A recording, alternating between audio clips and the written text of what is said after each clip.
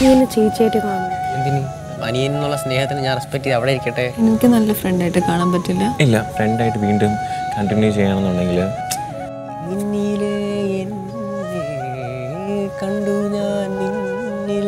നിന്നിലുള്ള എന്നെയാണ് ഞാൻ പ്രണയിക്കുന്നത് മനസ്സിലായത് ഞാൻ നിന്നിലെ നിന്നിൽ ഞാൻ ഉണ്ടാവും ഒരു സിസ്റ്റർ പറയുന്നത് എന്താ? നിനക്ക് ഒരു പിടിയില്ലല്ലോ. നിനക്കാണ് കുഴപ്പം ഇവിടെ എനിക്ക് Big Boss Malayalam season four ഇന്ന് രാത്രി ഒൻപത് മുപ്പതിന്.